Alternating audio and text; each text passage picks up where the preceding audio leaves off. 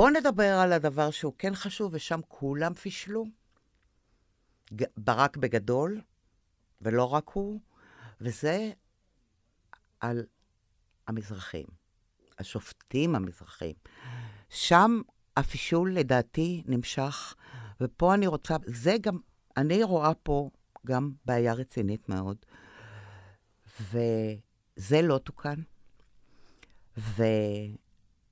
ואני לפני 20 שנה, כשעבדתי על כבודו, באחת מהשיחות אמרתי לברק, אתה חייב להביא לפה שופט מרוקאי.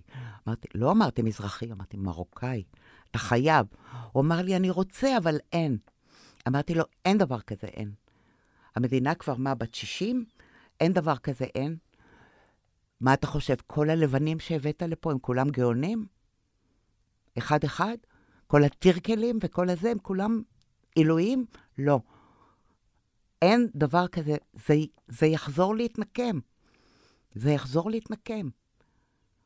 אבל הוא לא קיבל את זה. הוא, זה לא רק הוא, לא רק הוא, אחריו. אחריו אותו דבר. עד היום זה לא תוקן כמו שצריך.